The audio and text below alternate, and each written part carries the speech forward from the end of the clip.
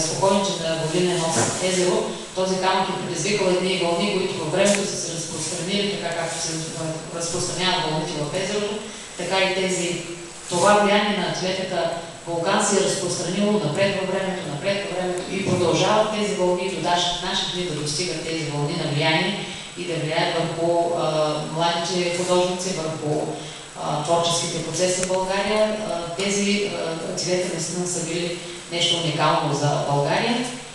И ми се ще в тази дискусия днес, освен да припомним за